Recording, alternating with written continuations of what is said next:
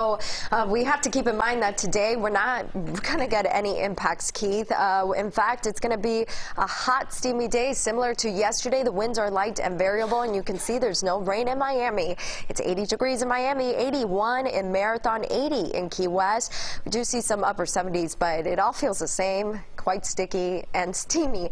Uh, now, the winds, as I mentioned, light and variable, but for the most part, the flow is still mainly out of the south-southwest. Then later this afternoon, winds will start to turn more easterly, but still remaining light. No rain on real-time Doppler, and we're going to keep things quiet on the radar for much of the day as we head into the second half of the afternoon. That's when we can have a few showers bubble up anywhere along the east coast or even the inland areas. But again, it's not a washout. It's not widespread coverage of rainfall. In fact, it's more isolated to spotty. So we could have a thunderstorm or two. Otherwise, it's a hot one, feels like in the triple digits.